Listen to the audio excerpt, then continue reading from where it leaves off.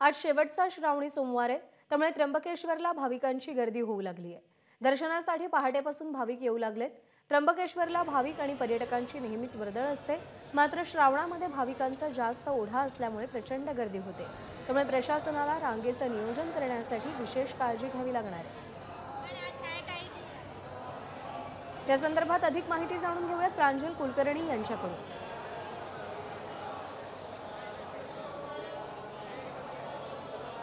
प्रज्ञा आज शेवटचा श्रावणी सोमवार आहेत यासोबत म्हणजे तीनच दिवसांनी श्रावण महिना देखील संपणार आहे. त्यामुळे आपण जर बघितलं तर अगदी पहाटेपासूनच आज भाविक राज्यभरातून त्र्यंबकरायाच्या दर्शनासाठी दाखल झालेले आहेत. आपण समोर जर बघितलं तर अशा प्रकारे रांगाच रांगा ज्या आहेत त्या मंदिरात असतील किंवा मंदिराबाहेर बघायला मिळत आहेत. जवळपास अर्धा किलोमीटरपर्यंत बाहेरची रांग जी आहे ती जाऊन पोचलेली आहे. तर इथे आपण जर बघितलं तर मंदिरामध्ये अशा प्रकारे अभिषेक केले जाते पूजा ही केली जाते. यासोबतच बम बम भोलेच्या जय घोषाने त्र्यंबक नगरी जी आहे ती. दुमदुमून गेलेली आहेत. आज श्रावणी सोमवार आहेत आणि श्रावणी सोमवारी खरं तर अनेक जण उपवास पकडतात. त्यासोबत दिवसभर अशा प्रकारे महादेवाची पूजा अर्चा जी आहे ती केली जाते. जर आपण त्र्यंबक त्र्यंबकेश्वरचं विषय जर बघितलं तर त्र्यंबकेश्वरला तिसरे श्रावणी सोमवारी म्हणजे चारी सोमवारी फेरी मारण्याची एक अनोखी परंपरा आहे.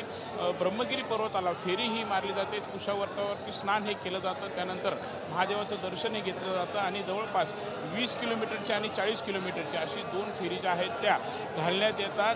यामुळे खरं तर आपले पापातून मुक्ती होते असं अशा आख्यायिका ज्या आहेत असं मानलं जातं. त्यामुळे आपण जर बघितलं तर त्र्यंबक राजाचं अशा प्रकारे दर्शन घेऊन फेरी मारण्यासाठी राज्यभरातून भाविक इथे येऊन पोचलेले आहेत. दिवसभर अशाच प्रकारची रेलचेल जी आहे ती भाविकांची दिसून येणार आहे. यासोबतच आपण जर बघितलं तर हे भाविक जे येत आहेत त्यांची संख्या बघतात एस टी महामंडळाकडून जवळपास दोनशे जादा बसेचं नियोजन हे करण्यात आलेलं आहे.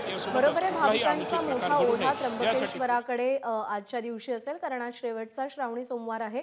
आणि त्यानिमित्तानं नाशिकमध्ये सुद्धा भाविकांची गर्दी पाहायला मिळते प्रशासनाच्या वतीनं नियोजन केलं गेलंय. प्रांजल धन्यवाद दिलेल्या माहितीसाठी. एबीपी माझा. उघडा डोळे बघा नीट.